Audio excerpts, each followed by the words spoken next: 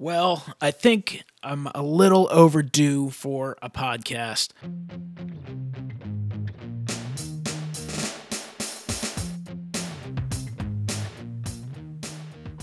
What's going on, everyone? MikeO back with another episode of Hobby Talk.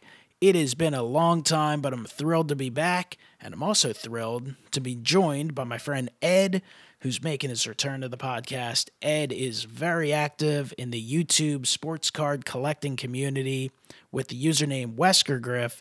He's also on Instagram and he's really active in a bunch of Facebook groups as well. So, Ed, welcome back to the show.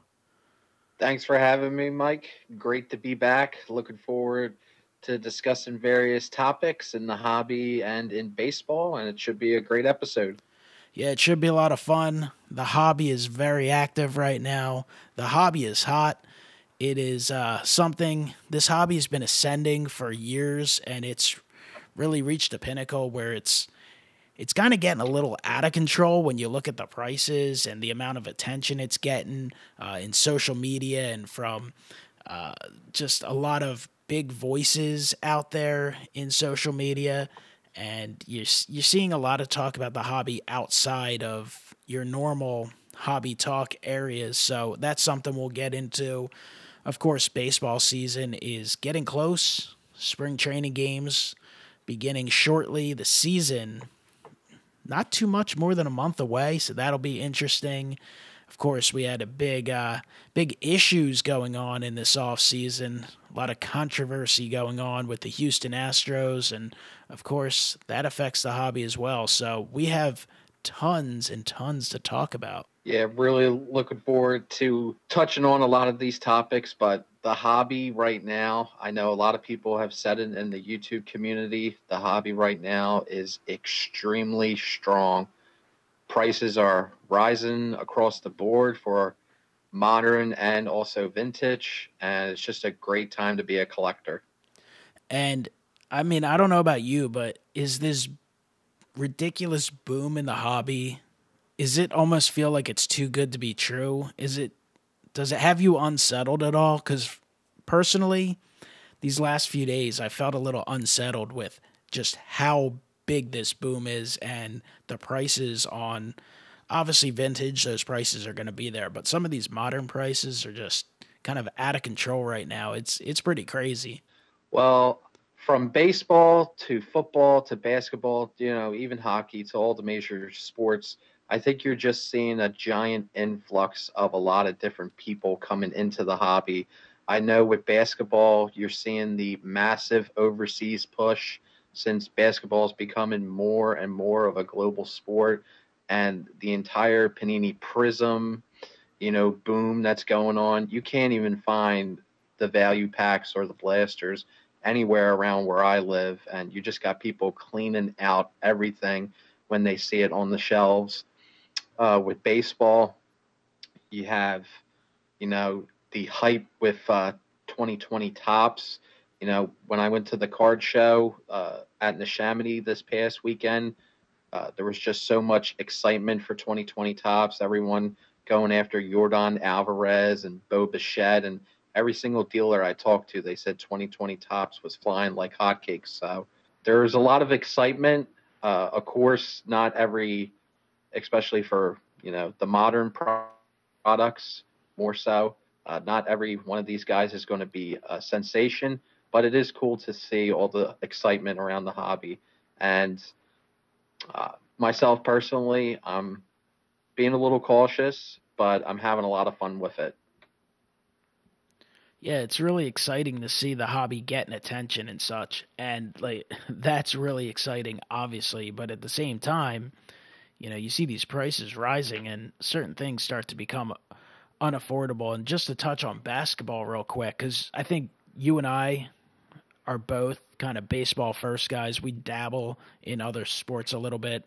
I do some football, and I know you do a little bit of uh, basketball and hockey as well as football. But uh, basketball is ridiculous. Like, you know, I just see this kind of. Uh, on my peripheral because I don't really pay attention to it super closely, but I know that Prism basketball is out of control and Optic basketball, which just came out in the last week or two, I think I saw it's like hundreds of dollars, like maybe four hundred dollars a box, like for a hobby box, which just sounds completely out of control and just you know a gamble that kind of tough to uh, win on and I know the retail is just vanishing right away and it's like instantly going for double. So basketball is really I think the hottest sport in the hobby right now and you have a lot of uh, I guess a lot of money coming in from overseas, but also there's just that brand. These certain players have these individual brands. Obviously, basketball league, you have less players, and the players are very recognizable. So basketball is just completely crazy. And then, of course, you know, football, hockey are strong as well, but baseball is what we follow. And you know, the baseball market for rookie cards is it's it's really hot right now. And I guess it'll be interesting to see how long uh, the hobby can sustain that. Obviously, part of the reason is a good economy that allows kind of an extra flow of money. Um, that coupled with the fact that the hobby is growing and a lot of people are finding the hobby again, and you have new money coming in that that explains kind of some of the prices. It's just you have to kind of step back and think like how long can this last at this level? Yes, but I do think one of the craziest aspects of the hobby that occurred uh, in this off season, I guess you can say, or uh, the last couple months, easily in my opinion, is the Kobe Bryant uh, card market because, I mean, I'm sure everyone listening knows about the tragedy with uh, Kobe's untimely passing and uh, how horrible that was. But then, you know, when that news broke, you just see all his cards, you know, quadruple. And if you look at some of the prices on his PSA 10s, I mean, they're just they're unaffordable for the, you know, average collector. So I mean, to see that explosion, it, it's just it's just kind of jaw dropping. But it also, you know, speaking from my own personal experience, it kind of, you know, I didn't have any Kobe Bryant cards in my collection because when I buy basketball, I mainly focus on the Philadelphia 76ers since I'm a Philadelphia 76ers fan.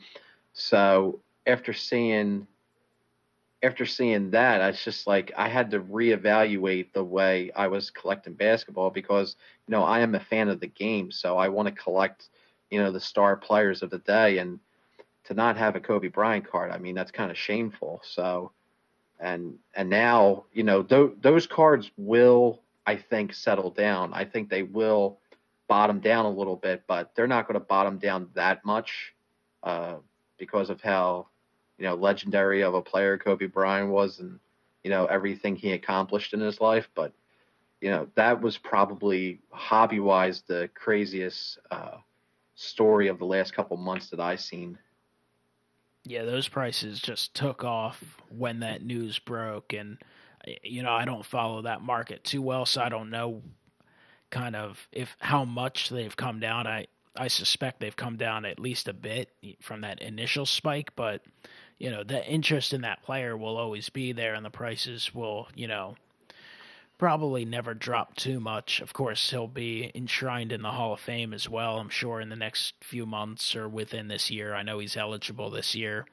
Um, I don't know exactly when uh, the Basketball Hall of Fame has their enshrinement and everything, but you know that'll keep interest as well. Not that people didn't know that Kobe Bryant was going to be a Hall of Famer regardless, but you know, the Hall of Fame is something that people in this hobby uh, certainly appreciate, and it gives people a reason to collect. So that that was obviously a, a sad story and kind of one of those things you, you find out about it and you're just thrown off like, wait, what? And uh, you know, a lot of people like to uh, kind of reminisce and go back and start picking up some cards either that they used to have or adding to the collection. And then, of course, you're going to have people who uh, you know, try and pick up stuff just to move, um, to profit off of it. But there was there was definitely a lot of movement in the hobby on the in the Kobe Bryant uh, side of things. We've seen that happen before. I know, you know, recently with Roy Halladay, you know, I vividly remember, you know, when he had his untimely pass and and you know he kind of almost passed away in similar circumstances in a an air accident, but you just saw his prices do the same thing as well. And I think you know sometimes we got to recognize some of these amazing players and uh, and you know check out their stuff before before they leave us. But I mean, I, we don't realize some of the great talent that is going on right now and some of the legendary players playing. Yeah, I think that's another thing you're getting with the whole uh, card market boom, right? It's a whole bunch of things kind of coming together at once.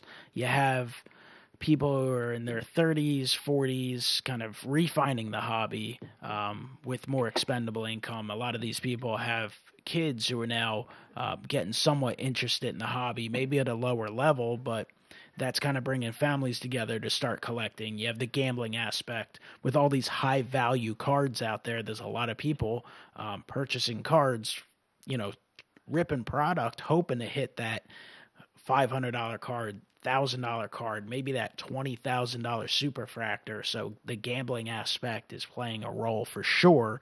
Um, people kind of get into it and get addicted to it. The flipper market, people seeing an opportunity to, uh, you know, make some dollars that's bringing people in. There's there's so many factors bringing people into this hobby.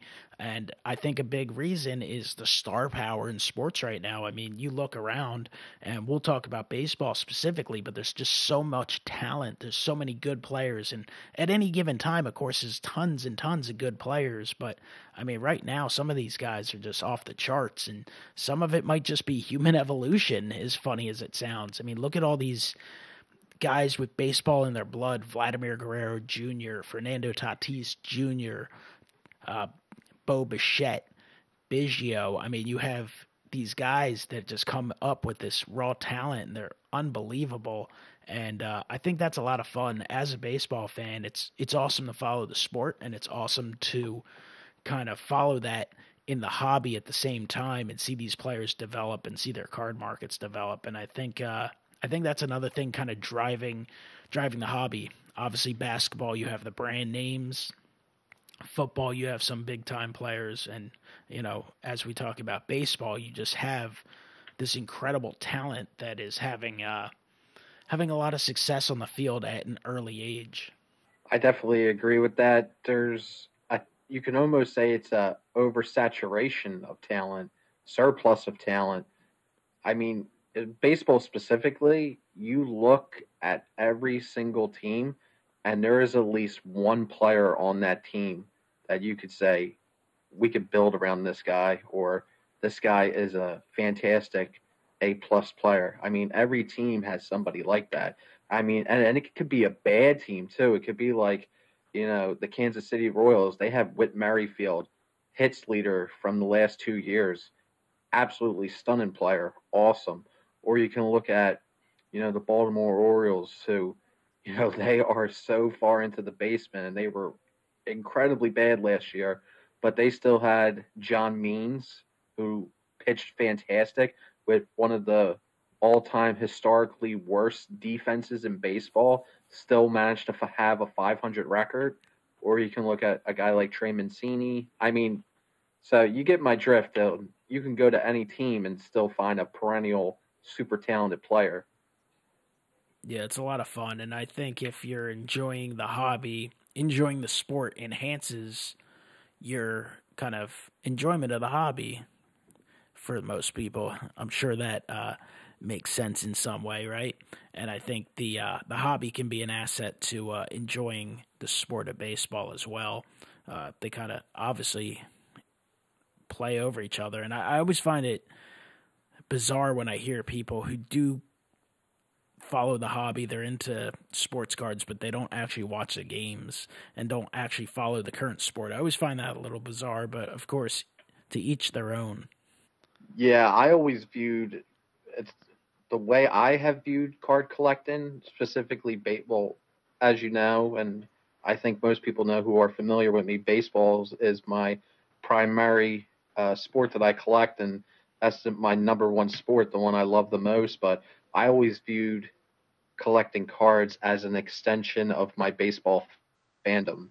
Yeah, it's just it's a I don't know. I, I think it's great. I just think it's year by year to kind of collect different cards from each year. Kind of documents uh, these players, these teams that you follow during any given season. So I think that's a lot of fun. With that being said, you know, we're getting ready for the 2020 Major League Baseball season, which is mind boggling, but uh, it's the reality, right? And 2020 Topps baseball cards did drop a couple weeks ago.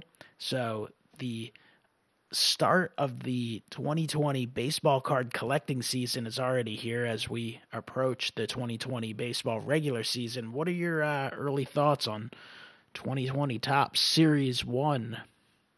Well, it is a very hot product. It is very, very hot. But the hype around it is really cool. I just love seeing the enthusiasm and the passion a lot of people have uh, for 2020 Topps. I've seen that in person, like I mentioned already at the card show that I went to. Uh, there was just a lot of people walking around saying, "Hey, you have any 2020 Topps? Do you have uh, Bo Bichette rookies? Do you have any Yordan Alvarez? And uh, do you have any of the rookie cups?" So it's it's just really cool to see, and you know we'll have to see how this season plays out uh, to see how these guys do. But it is a really fun product, and you know, I like the foils that they've added this year, so uh, it looks really cool. I haven't opened too much 2020 Topps yet. I've done a couple blasters, and I've done some uh, value packs, but uh, looking forward to you know d- delving more into it. But it's been it's been hard finding it around here. You know, a lot of the targets around here have been pretty uh bare bones. Have been cleaned out of 2020 Topps. so a lot of collectors in this area. Maybe that's why. I know other people have been able to find it, but yeah, I'm looking forward to it. Yeah, I think as someone who, you know, I, I enjoy all cards, right? And I enjoy vintage and modern and everything alike. And I, I love all the uh, diverse products Topps puts out. Obviously, they put out dozens and dozens of products, but something I always look forward to is that flagship Topps set, right? The same set that goes all the way back to the early 50s. They've been putting it out year after year. You can build team sets, you can build complete sets. You can rip that first pack of the year. It's a lot of fun. And I really have enjoyed uh, the focus back on that flagship product. Like the enthusiasm, as you mentioned, the excitement for it. You know, it's a good crop of rookies this year in Series 1. So it's been a lot of fun to to follow people enjoying the product, having fun, chasing the rookies and the parallels. And of course, there's all kinds of things to look forward to in the product. And there's going to be a lot of um, other players that come up this year that have rookie cards, but there's something neat about it. Uh, the design, when I first saw it, you know, months ago, I was kind of iffy on. At this point, I'm fine with it. I really have no complaints about it. I enjoy the traditional design, so yeah, my preference would be a bordered card and such. But it is what it is. It's year 2020, and I'm I'm cool with the design. I'm not saying it's my favorite design, but I've grown very accustomed to it. I like it. I think the rainbow foils look great. I think the gold foils look really cool. Not super into the different color parallels this year. I just don't think they stand out as much as they have over the last several years. But I think the insert sets have all been really neat, and I I like it. I like some of the retail exclusives, so it, it's really fun to see people having fun in the hobby, breaking it. Yeah, the only thing that I'm not crazy over uh, in regard to 2020 Topps is I don't like the fact that the names are sideways, but I can see myself eventually getting over that. I will say it takes a lot for me not to like a design. Uh, honestly, the only Topps design in recent history that I really, really don't like was the twenty, uh, the 2007 design. It's the only version of Topps that I just don't like at all. Is that the one? What was Black Borders? Was that 07? That was the the 2007. No, 08 is is the white. Uh, 2007 is the black with the facsimile signatures in the center. And not only that, if I remember right, the borders are so big on that card. I feel like the photographs are pretty small on that product. Yes, it's a very strange design, and I, that out of all the designs that Topps has ever done, that is the one that I just I loathe. I, I don't like it. Yeah, well, you can't hit it out of the park for 70 years, I guess. But overall, yeah. you know, I think they do a good job and I enjoy it. I do like, yeah, I agree. I'm not crazy over the, uh, the names, the nameplate being sideways like that, but I've got, grown used to it. It doesn't really bother me. Overall, I think it, you know, I think they did a solid job and you need variety. You can't have the same thing year after year. So it's a lot of fun. And I, I'm, I think the emergence right now in the hobby, right? Everything kind of, there's always different trends. And I feel like the trend right now is geared back towards flagship, back towards even in some aspects paper cards maybe not Bowman paper, but like the Topps paper, because people are realizing they're more condition sensitive than the Chrome. And uh, I think a lot of the focus now is on rookie cards, so that's pretty neat rather than just the hits. I mean, obviously, people are buying products and they want the hits, but uh, it seems like even some of the color parallels or photo variations of base rookie cards are a little more in demand than even the autographs. Obviously, an autograph of a key rookie card is going to hold substantial value, but I, I, do think that's a trend that I like, where it's not just all, oh, I got to hit, get this hit, and toss everything else. Yeah, I would say probably, and this has been developing, I would say, over the last couple years, but you're really seeing more of a, I guess, back to basics approach for collectors at large, where the rookie card has really returned with total authority over, you know, I would say the last 10 to 15 years. Uh, it was always about the hit, you know, getting the relic card or getting the auto relic or hitting the autograph. But now it seems to be more along the lines of hitting the rookie card or more specifically hitting uh, a type of parallel of the rookie or maybe a short print or super short print of a rookie card. All right, let's switch gears real quick. Hopefully, you don't spend a crazy amount of time on this, but I'm sh- I'm sure we'll spend a few minutes.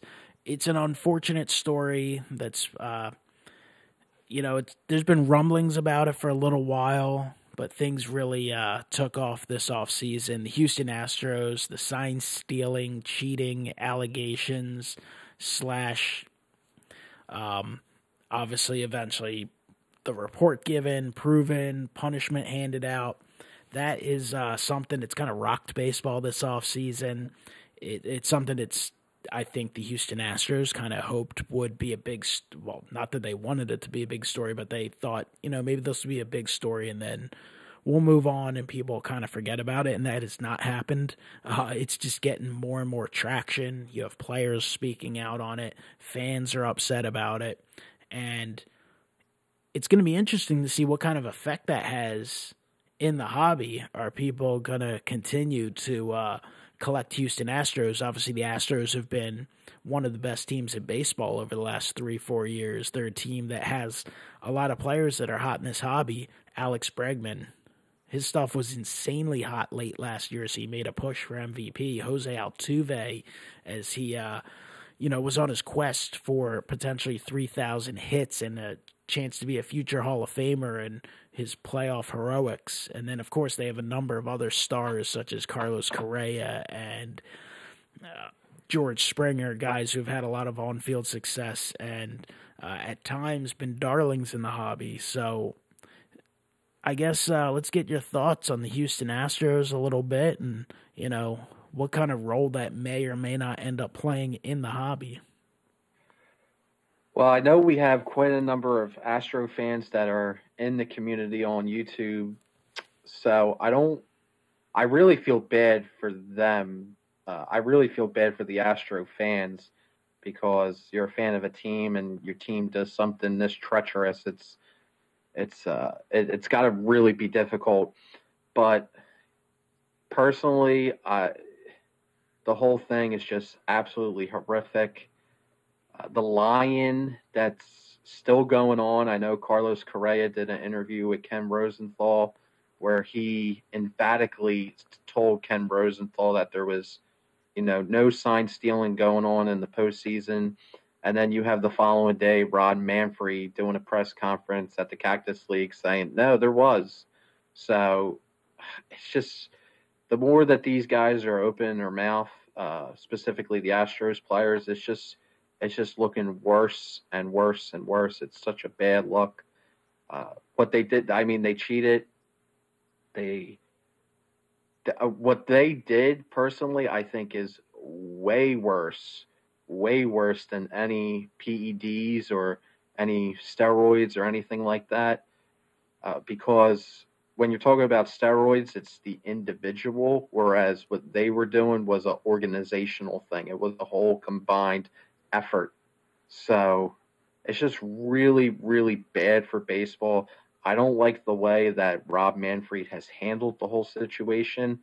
But as more news is coming out with the players uh, union and the players association, it's shedding a little more light. But it's just really bad. It's a overall terrible situation for baseball, and uh, the fact that these guys, these players, aren't being properly punished, uh, I think, is a travesty. And more at, when you have players like Mike Trout coming out and voicing their displeasure, who Mike Trout's probably the most, you know, straight shooter, most quietest player. He never, you know, he's very, very quiet. He's he's never saying anything. When you have him talking about this, you know it's a big, big deal. Yeah, and it's crazy. Like in one way, it's given baseball a lot of attention on the national stage, but I mean, I don't know. I think it is going to raise some interest from the uh, general fan that may not necessarily tune into every game. Like if the Astros have a Sunday night game, I think you might see a little bit of a rating spike. It is going to be fascinating to see how things kind of play out this year. Hey, if the Astros, which I believe they're a very talented team, of course, I don't think they won the World Series and competed in the po- postseason only because they were stealing signs. I do think it clearly enhanced their ability to end up winning. Of course, it played a significant role, despite what uh, the owners said and players have said. Uh, but, you know, if they can come out and win the World Series, that'll go a long way to people kind of letting it go a little bit or forgetting about it to a degree it'll always be a stain. It'll always be a thought. But I mean, they are facing a ridiculous amount of pressure. I mean, they're going to get booed out of town every road game. People are going to be going to the games to boo the heck out of them. I mean, some of the faces of the franchise, the guys that have been involved in these press conferences, and they've all been terrible. The Houston Astros uh, PR team should be fired immediately if they haven't been. I mean, these guys have not been ready for any of these press conferences. They've been absolutely atrocious. I mean, Alex Bregman, Jose Altuve. Like, what happens if one of these guys start the season one for 20, two for 35? I mean, you could see a real, uh, a real, I think, you know, kind of troublesome stretch trying to get out of that because you are going to be villains on the road and you're going to have that personal pressure on yourself. And, a lot of people kind of speaking out against you. So it, it's gonna be it's gonna be a fascinating season to uh, follow the Astros. I think you'll definitely see a increased interest in baseball. They'll they'll definitely receive that because you know, as far as I go back from watching baseball, we've never had a team that you can synonymously say is the villain the Astros are so villainous right now. Like pretty much everyone who's not an Astros fan absolutely loathes that team. And you know, the only other villain that I can think of uh, that that's been in baseball is you know Barry Bonds was a little villainous. There was a lot of people who were against him. Uh, you can maybe say A Rod too. There was a lot of people against him, but I've never seen a fandom, uh, the baseball fandom, so united against a particular team. And when you go on social media or you go on Twitter and you see what regular fans are saying, you know, people want to tune in because they, they want to see these guys, you know, get some road justice, I guess, or, you know, like Nick Markakis said, he, all these guys deserve a beating. So you're going to have fans tuning in to see what other players, how they're going to handle them not getting suspended, how what they're going to do about it. And you know, you mentioned it, Mike. The Astros, they are an insanely talented team. They have so many great players on their team, and I think that's why this whole entire ordeal is so disappointing because they didn't need to do that. I mean, they already had the talent: Altuve, Bregman, Carlos Correa, Springer. They were loaded with such great talent. They had Verlander, Gerrit Cole, so they had so many fantastic players. So that's why I think that's why it stings a lot more for your average baseball fan because they're like, this team was really, really good and they were doing that. So I think that's why a lot of people see it as unforgivable. Yeah, and I think baseball has become a very localized sport, right? So we're Phillies fans, the two of us. So the Mets are a villain to us maybe to a degree the Braves Nationals. Sometimes it can change depending on the ability of the teams in your division. I think certainly the Yankees are always deemed as a villain in the sport just because of their history of success. But generally speaking, unless you're a member of the AL East, you're kind of like, ah, I'll root for the other team because the Yankees have won so much. They're not quite as bad. The Astros, really, though, they they are the villain of the story at this point. So I actually am kind of getting even more and more excited as we talk for 2020 baseball. Should be a lot of fun, but kind of jumping back to the hobby aspect. I mean, do you see this playing a role or a continued role? I mean, if you browse eBay, I mean, people are still buying Altuve rookies. The price is certainly down from the uh, the point they were at in the postseason.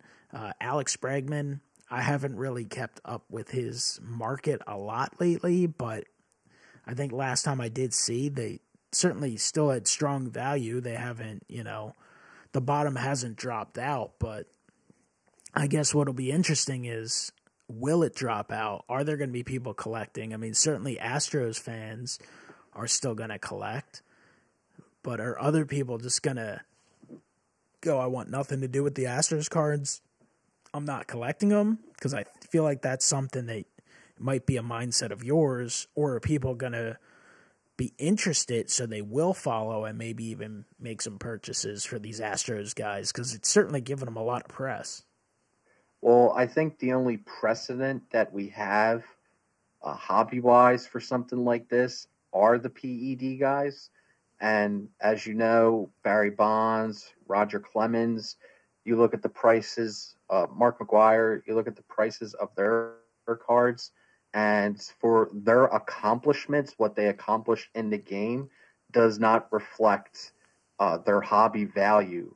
So I think with the Astros, you'll see a drop off, but I think most people are in a wait and see approach, uh, specifically to certain players on the Astros. I feel like a lot of people are in a wait and see approach with Altuve. I think with Bregman uh, and all those guys. But speaking for myself personally, you know, I don't have that many Astros cards. I do have several Altuve's, uh, rookies, and autographs. Same with Bregman and same with Carlos Correa. You know, I'll hold on maybe to one or two of my Altuve's, but uh, I'll probably be dumping uh, the rest of those guys. Or who knows? Maybe they'll have a great season this year and they'll silence they'll silence people. But I'm telling you this right now: if they go out there this year for 2020 and a lot of those guys struggle, like you you mentioned, like they start off 0 for 20 or 0 for 30 or they're only hitting 200 in April, you're going to see people dumping those cards at an alarming rate. That's definitely a possibility. Um, and I agree. There's a lot of people who have invested a lot of money in some of these players, and they're going to be hesitant to um, sell too low or sell too quick because certainly these guys um, still have a lot of upside. I mean, Alex Bregman's still a very young player. Altuve is still in his prime. Uh, personally, I I had accumulated like seven or eight Altuve rookies in Gem 10s from the uh, Topps Update card.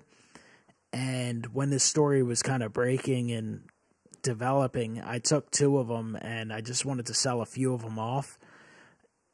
And I put them up at a reasonable price, I thought, and I got so many offers from people just kind of consistently offering me like forty dollars, just trying to, I guess, grab them and be able to flip them. You know, there was obviously people who were investing in it that were, uh, you know, I don't think they were planning on holding them long term or were even collectors.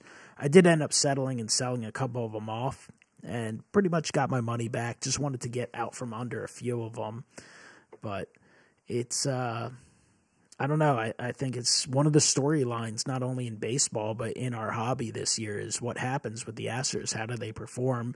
And uh, whether they perform good or bad, does that, um, you know, how does that play in this hobby? Because, I mean, you saw, I don't know, well, I don't know if you saw Ed on social media. I think I saw it on either Instagram or Twitter you know, Topps is down in spring training and they do promotional stuff, and they had Houston Astros players opening the cards, uh, opening 2020 Topps. And I did see a lot of people responding to some of those comments, which I'm sure Astros and Topps probably didn't appreciate. I saw uh, one of the uh, responses was, "I'm sure the Astros weighed all the packs so they get the open the packs with hits and all kinds of stuff." So that's something that is gonna, not going to leave the Astros side uh, anytime soon.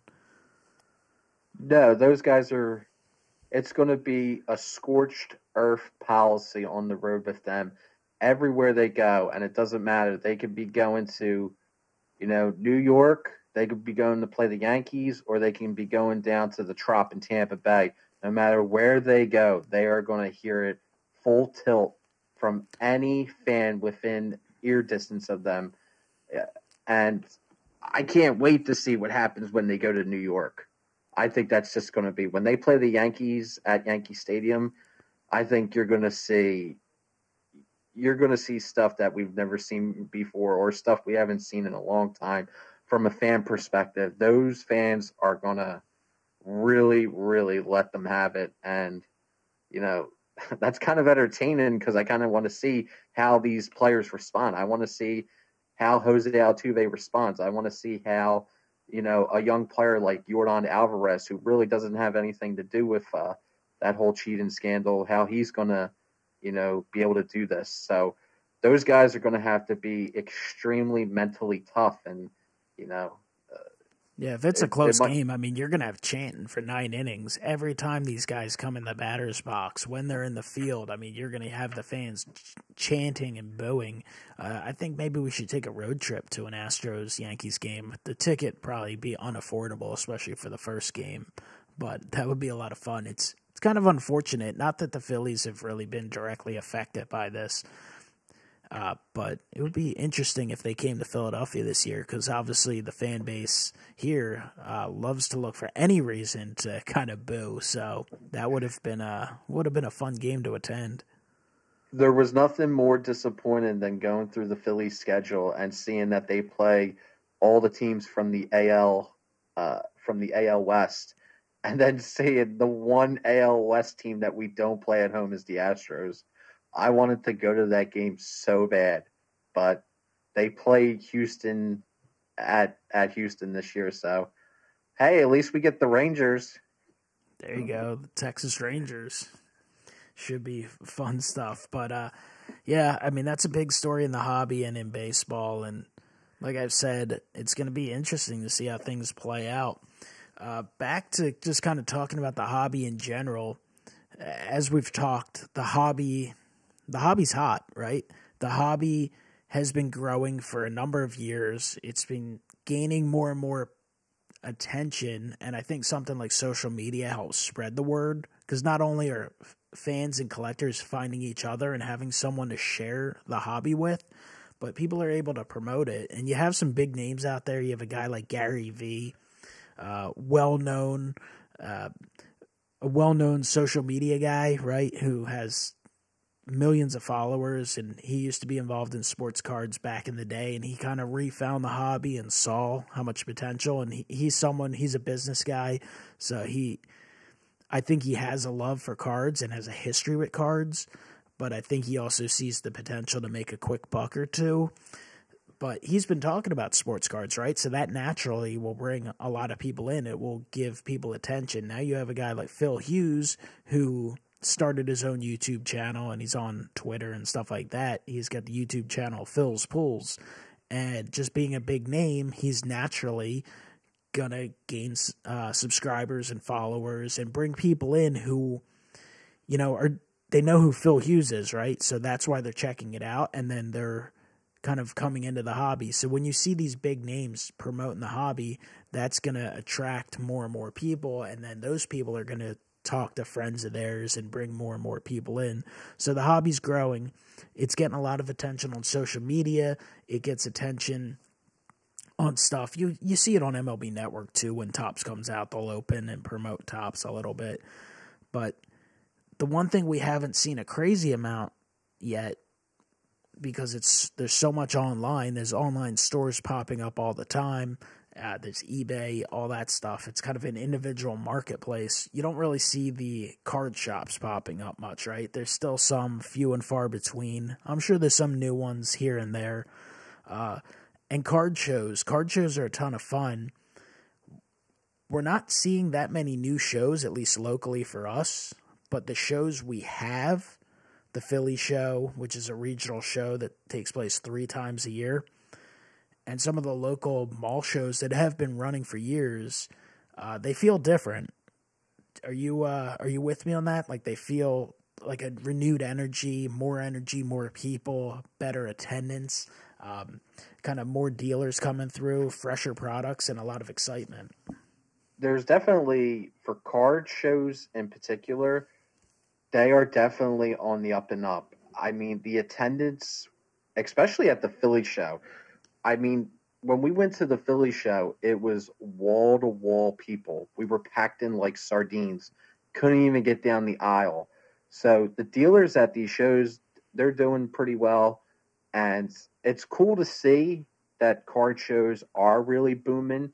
You did mention that there's really not a lot of new shows, but the shows that are going on, you know, like the Philly show, like the local mall shows, and then the summer shows in, in New Jersey, they're doing incredibly well. And I think a big reason that card shows in particular are doing well is because with you know what the majority of us buy our cards online via eBay, but now with the sales tax, you know, if you're going to buy a hundred dollar card, do you really want to pay ten dollars in sales tax? Whereas you can go in person, you can hold the card, you can look at it, you could talk to the dealer, and you can negotiate a price and it's so much easier. So I think that's that's part of the equation on why card shows are up.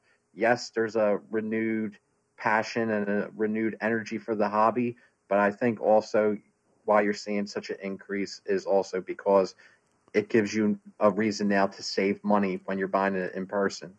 Yeah, I think definitely the uh, the online taxes, right? That has made things like the card shows a little more competitive.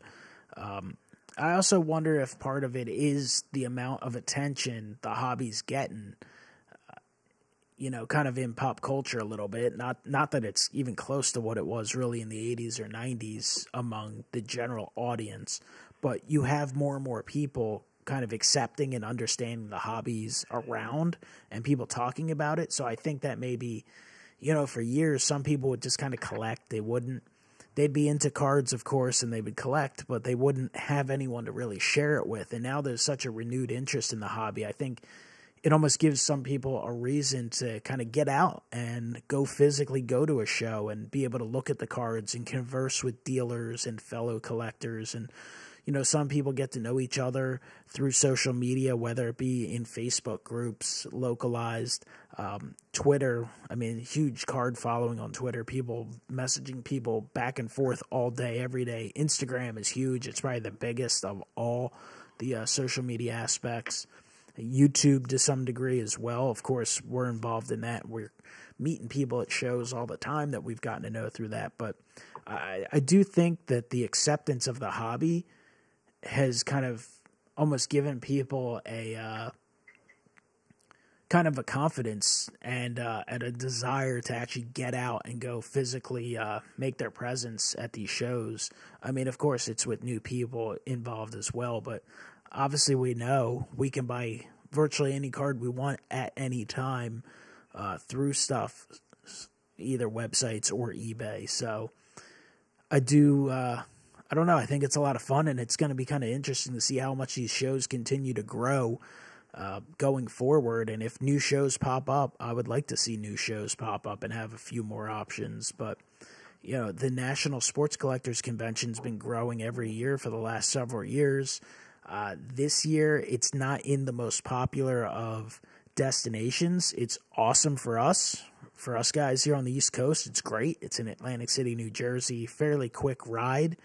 Uh, but for the general audience, from people across the country, they have to fly into Philadelphia or New York, uh, generally speaking, and then have a little bit of a hike to get to AC. But people will still come. People will enjoy it, and I think uh, it's going to be really interesting to see how big that is this year because I'm sure it will probably be a record breaking uh, attendance again, specifically for the Atlantic City show. So it's something to, uh, I, I, know I'm pumped up and always excited for it, but I think there's just even something more special this year with how much the hobby has grown and is booming and brings excitement. Yes, and I'm really curious to see you know, how busy Atlantic City will be because I remember when the show was last there in 2016 and I went to the National in 2016, then I went in 2018 and 2019. So I've been to Atlantic City, Cleveland, and Chicago. And when I went to Atlantic City, it felt like night and day compared to Cleveland and Chicago. But with Atlantic City, it felt like more intimate. Uh, it was a little, it felt a little smaller, uh, convention center wise. But I'm really, but the I remember after that Atlantic City show in 2016, I remember the people who run the national, you know, were very appreciative of the city and were very happy over the turnout, and they were happy. Of, all the dealers had rave reviews and everything. So if you're listening to this and you're on the fence about coming, I highly, highly recommend, you know, coming to the National in Atlantic City. It's going to be a lot of fun. Um, and you'll be, I mean, it's the National, it's the Mecca for sports card shows. So make it happen. If you're on the fence, I'm telling you, it's worth it. Make it happen. Yeah, it's an unbelievable experience on so many levels. Uh, just for the cards, just to walk around and gaze at the cards. I mean, you're going to see anything and everything. There'll be plenty of stuff that most of us can't even dream of purchasing, but just to see it, it's pretty special. It's pretty unbelievable. And, you know, you can shop and find awesome stuff. You can find some oddball stuff that you don't see every day. And, you can get some great deals. You can get the hottest and newest stuff. You can participate in wax. There's actually a lot of great deals on stuff like wax. It's a great time, you know, especially if you're within driving distance and you don't have to worry about either shipping product or overstuffing your bags as you try and fly out. I mean, some of those promotions to get those, uh, the silver packs or the, uh, you know, whatever the exclusive packs that Topps has, there's good value in there. So it's like, maybe I should make this purchase uh, at the National so I can get these packs. Uh, there's there's a lot to see. There's a lot of panels. All the big dealers are there. All the big promoters are there. The auction houses, the companies, Topps, Panini. I mean, there's there's a lot going on.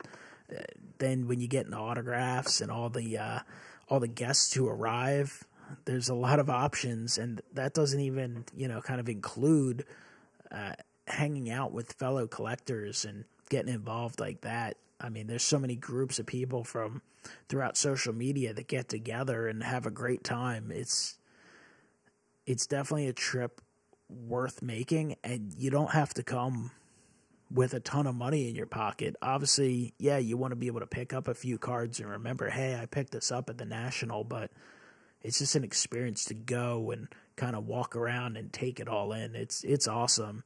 It is uh, it's about the best uh, card show experience you can have.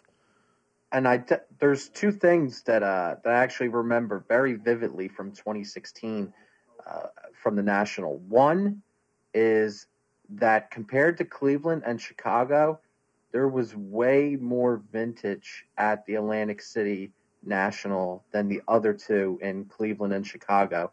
and I I kind of speculated why why that is, wondering why there's so much vintage at the Atlantic City National, and is because uh, there's a lot of vintage on the East Coast. Uh, it's primarily on a lot of the vintage. A lot of these vintage dealers are on the East Coast. But the other thing that I vividly remember from the 2016 National is just mountains and mountains and mountains of uh, value boxes 25 cent boxes, 10 cent boxes, dollar boxes. Not to say that, of course, they had mountains of boxes there too, but I just remember just rows and rows and rows as far as the eye could see at the Atlantic City National value boxes. So I'm really hoping that those dealers will return for 20 from from 2016 and be there in 2020. Yeah, I'm sure they will. It'll be a lot of fun. I'm excited for it. Heck, I'm excited for the Philly show coming up in the next two weeks, really a week and a half or so from this recording date. It's going to be fun. I'm sure we'll be hanging out, hopefully, maybe even making a video, something uh, we haven't done recently at the uh, at the Philly show, but I know uh, a few of our friends are planning on heading there, and it's just it's a lot of fun. That's what the hobby's all about, right? We all take it seriously at times, and we should. You put a lot of money into it, whether you're breaking product. I mean, these products are not cheap. If you're purchasing cards, I mean, even if you're buying five and ten dollar cards, enough five and ten dollar cards add up. Becomes a hundred, becomes two hundred, becomes five hundred really quickly if you're collecting rookies, if you're involved in grading, the process of getting cards graded, the expense, and then if you're purchasing graded cards, this stuff, this costs a lot of money, and uh, it's a hobby, but it's something you have to take seriously because of the expense, and um, but ultimately, you know, it's about fun. It's about having fun, enjoying the hobby, loving the cards, uh, having a reason to uh, purchase the cards, and everyone has different reasons. Some people are buying, purchasing cards and collecting cards for nostalgic purposes. Some people, it's because they're enjoying following these players and they like to speculate kind of just for fun. Some people are making a living or a side hustle out of it. But uh, I do think it's important to, to kind of take a step back and kind of think about why you're involved and make sure you're responsible with it too. I, I mean, I think that's a little PSA there. Uh, from time to time, we have to reel ourselves in, but the hobby's fun and it's it's definitely in a really good state right now. I hope it can sustain itself. I mean, we'll see. Of course, that's a whole nother topic for a whole nother episode. But just love the hobby, right, Ed? Definitely, and collect with your head, not over it. this is definitely a good thing, and collect from the heart. Use your heart to help others. Yeah, we can go on for hours about you know how to be a great collector and a great asset to other collectors. Yeah, there's just it's just a really great time to be collecting. There's tons of enthusiasm, you know, tons of excitement, and you know things are on the up and up.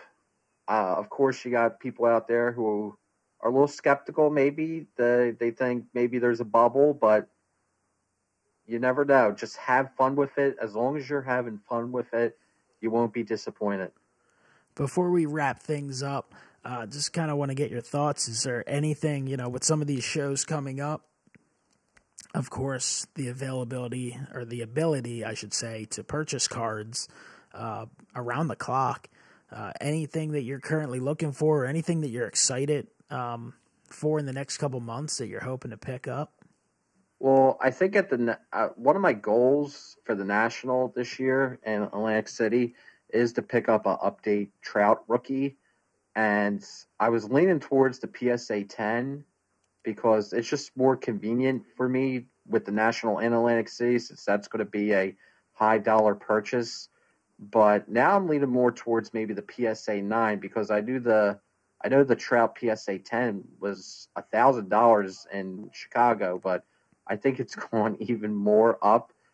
But uh, if I'm going to make a big purchase like that, uh, that would be the best opportunity since I don't have to fly, I don't have to carry money on me. I can just, you know, bring it from where I live. And also, if I'm going to make a high dollar purchase, uh, you want to do it in person now with the sales tax because there's no way I'm paying over a hundred dollars on sales tax on a big purchase like that. I'd rather just do it in person. So you're looking at the fine nine, Mike Trout rookie. Yes, as a wise man once said, buy the card, not the grade. But that is, you know, we can laugh about that, but it's definitely great advice. I, I think there are a lot of people who get wrapped up in that assigned grade. And, you know, I think we all would like to have the highest grade we can afford, right?